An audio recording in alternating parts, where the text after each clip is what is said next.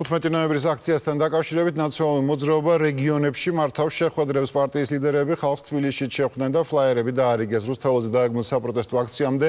რამდენიმე დღით ადრე ცნობილი გახდა რომ სველობას აფხაზთა კრებაც უერთდება რომელიც 43 ორგანიზაციას აერთიანებს და ასევე საკუთარი პოზიციის გამოხატვას პარლამენტის წინ არასამთავრობოების ნაწილიც გეგმავს აფხაზეთი და სამაჩაბლო საქართველოა. ამ შინაარსის ფლაიერები ნაციონალური მოძრაობის ლიდერებმა დღეს თბილისის ქუჩებში დაარიგეს.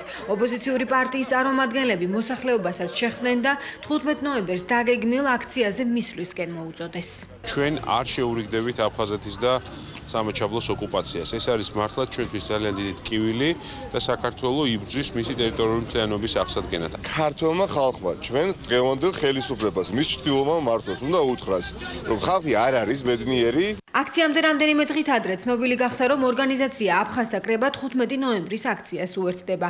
ორგანიზაციის და ნაციონალური მოძრაობის წარმომადგენლებმა ტექნიკური საკითხები შეათანხმეს. აფხაზთა კრება სულ 43 ორგანიზაციას აერთიანებს. აფხაზთა კრება მიიღო რეზოლუცია და მიიღო აგრეთვე გადაწყვეტილება, რომ კრების ორგანიზაციები იქნებიან წარმოდგენილი ამ აღნიშნულ მიტინგზე. არასამთავრობოების ნაწილმა კი კრემლის აგრესიული პოლიტიკა რუსეთის საელჩოსთან აქციით გააპროტესტა. ორგანიზაცია ახალგაზრდა ინიციატორთა კლუბის წევრების აქციას საზოგადოების წარმომადგენლებიც შეუერთდნენ.